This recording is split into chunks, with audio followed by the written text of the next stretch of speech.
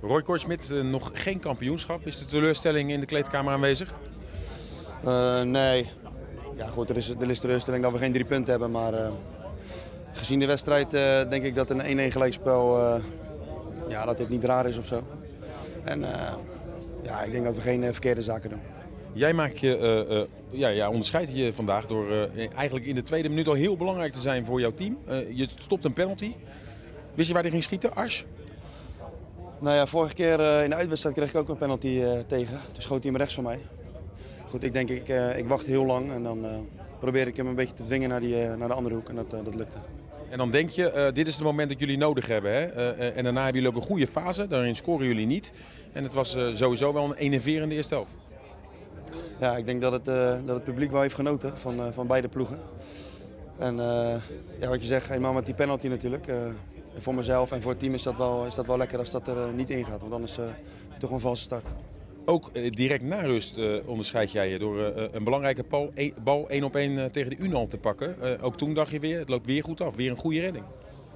Ja, ik weet niet precies hoe die voor mijn neus kwam, maar het was, het was vrij plotseling. Alleen, ja, ook daar ja, lang wachten en dan met mijn voet pakte ik hem geloof ik. Ja, gelukkig.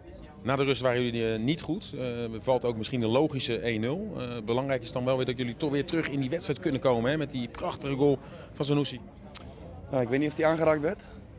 Een beetje wel. Ja, dat maakt in principe niet uit. Maar goed. ja, dat zag je. Ik bedoel, ja, die bal gaat erin bij ons. En iedereen die gaat gelijk weer vooruit. En ja, denkt alleen maar aan de gelijkmaker. En dat is wel mooi aan dit team, vind ik. Ja, en daarna pak jij nog een paar ballen. Uh, je hebt dit seizoen niet altijd vaak te doen, uh, veel te doen gehad. En vandaag uh, wel een keer. En dan laat je ook zien wat je in huis hebt. Ja, zeker de laatste, de laatste acht wedstrijden denk ik is het echt ja, bizar hoe weinig ik te doen krijg eigenlijk. En dan ja, vliegt er wel eens een bal in. En dat is dan voor mij helemaal zuur natuurlijk. Omdat je, je krijgt één bal en die gaat er bijvoorbeeld in. Maar ja, vandaag was voor mij wel een ideale wedstrijd om, om te laten zien wat ik kan. We zeiden het al, geen kampioenschap. Uh, proefde je wel in het team vandaag van nou het gaat gebeuren. Je merkte bij aankomst bij het stadion, het stadion was versierd, allemaal ballonnen. Je merkt dat het publiek het absoluut wil. Hè? Uh, vanaf de eerste minuut zat de sfeer er goed in. Had je vandaag kampioenskoorts? Uh, nee. nee, dat vond ik niet en dat heb ik ook niet gezien. het is wel zo dat je, dat je buitenaf natuurlijk zie je allemaal dingen veranderen. En dat, dat neem je ook wel mee, maar niet meer dan dat. Nu volgende week naar Helmond. Ja, hoe gaan jullie daar naartoe leven deze week? Zoals elke andere wedstrijd. En, uh, we gaan gewoon daar om, uh, daarheen om uh, drie punten te halen en dat, dat gaan we ook doen.